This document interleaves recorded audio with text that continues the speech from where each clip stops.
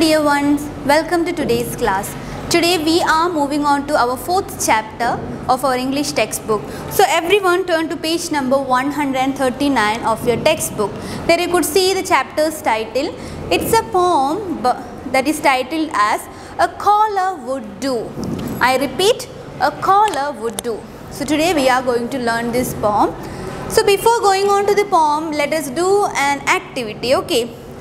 So I have put forward certain questions and an activity for you. Okay, so first question, you have to tell me the answer now itself. Okay, do you love pets? So do you love pets? Say yes or no. Very good. Now, have you given name for your pet?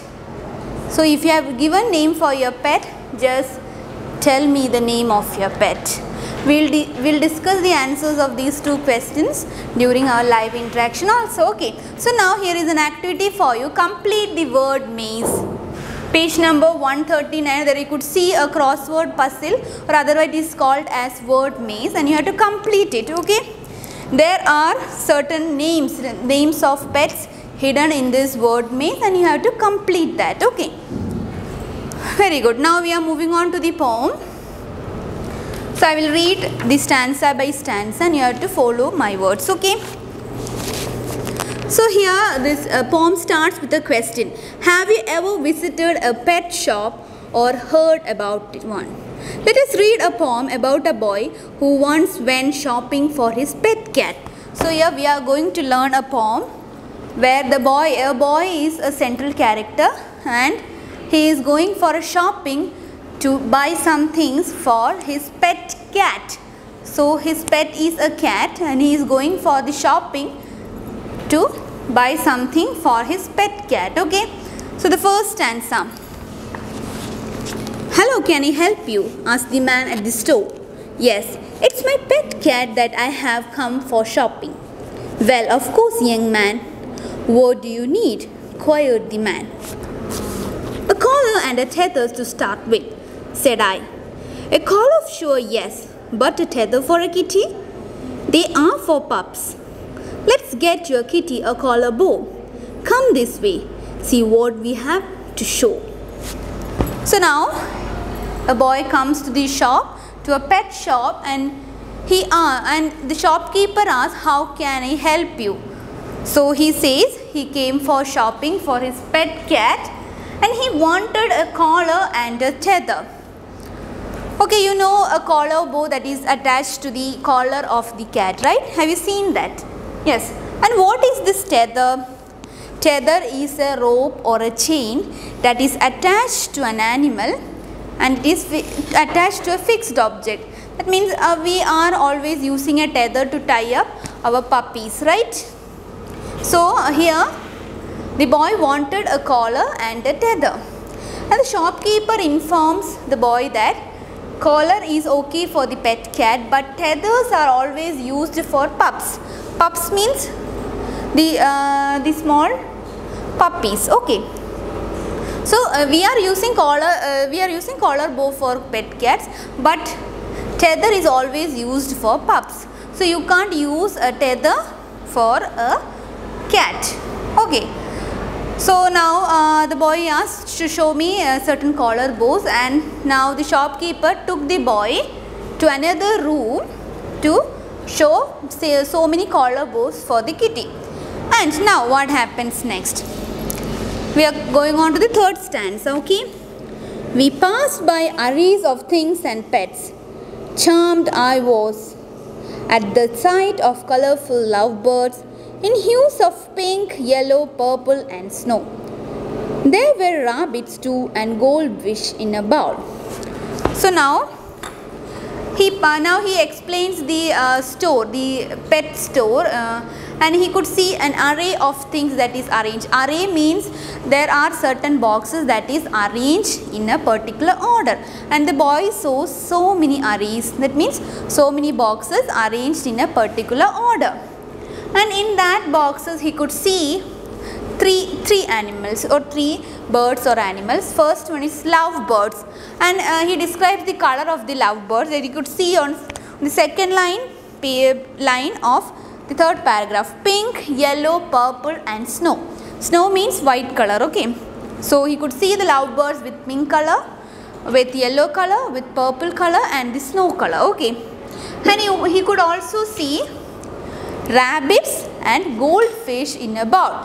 You could see the picture on page number 141. The picture of all the animals and birds that is arranged in that shop is displayed okay. So you could see array of so many boxes arranged in a particular order. And in that box he could see colorful lovebirds. And he also described the color of the lovebirds. What are the colors? Pink yellow purple and snow. Just repeat after me.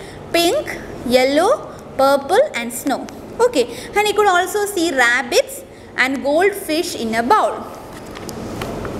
so now moving on to the next page. Is that a lizard in that box amidst those balls?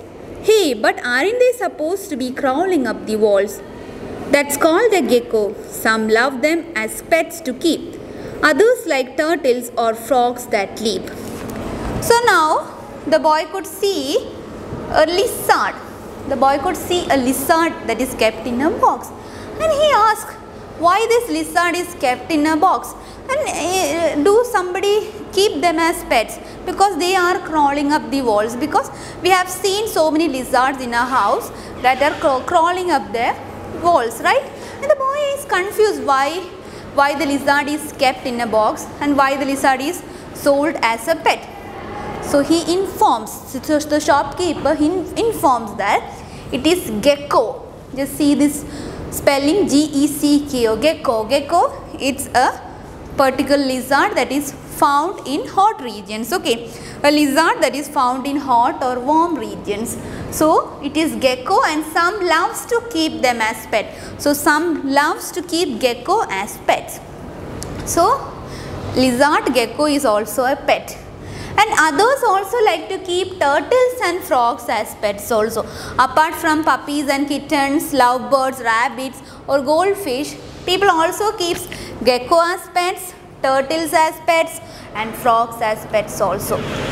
So now coming on to the last stanza of our poem. Oh then I might want a turtle and a tiny frog. Only I need to find a pond and a bog. Sure they are yours. Are the collar boot too?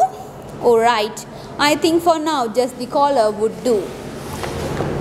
So now uh, the, the uh, boy also wishes to keep turtle and frog as a pet because he has seen that beautiful turtle and frog that is kept in the shop and he also demands uh, that he want this turtle and this frog he want to keep them as pet.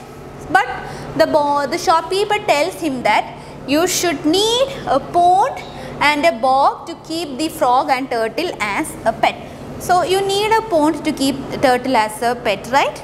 And then bog. What is a bog? Bog is a spongy wet ground with soil and dead plants. So you need a wet ground to keep frogs as a pet and also you need a pond to keep uh, frogs and turtles as a pet because they, they live in ponds or, or bogs, right?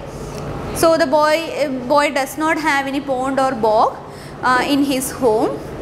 So he is initially hesitant to buy this turtle and this particular frog as pet. So uh, the shopkeeper insists him, shall I pack this turtle and this frog too? But he says no. Uh, as for now, the collar bow will be enough because uh, he, he only want a collar bow now because he don't have a pond or a bog to keep turtle and frog as pets. So the boy only bought collar bow and returned home. Okay. So the, uh, the poet of the poem is anonymous. What do you mean by the word anonymous? Anonymous means not named or not known. We don't know who wrote this poem. This is an anonymous poem. Okay. So now while reading the poem we have come across certain new words. So the first one is quiet. Quiet means asked Tether, tether a rope or chain that is used to tie an animal to a fixed object. Arrays, arrays means large number of things placed in order. Gecko, gecko is a small bird usually found in warm regions. Then bog, a spongy wet ground with soil and dead plants. You have to take down this particular new words into your friend side of the notebook. Okay. So now homework for you. Get going. Exercise 8 question number 1 you have to do as homework. You can write the answers in the textbook itself okay? No need to copy down the answers into your notebook. Just do the do this particular question. It's a true or false question you have to write the answers in the textbook. And we will be discussing the answers when we are doing when we are undergoing the online interaction session okay so until we meet next time, thank you.